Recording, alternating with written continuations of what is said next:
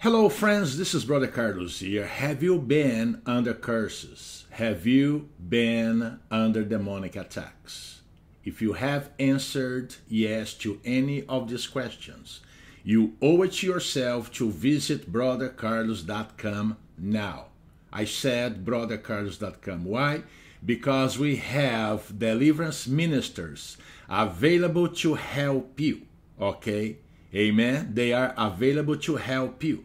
Go there right now, okay, and schedule a ministration for you and for your family right away. Don't wait any longer, okay? Demons and curses kill people every single day, okay? BrotherCarlos.com. Go there now. Bye.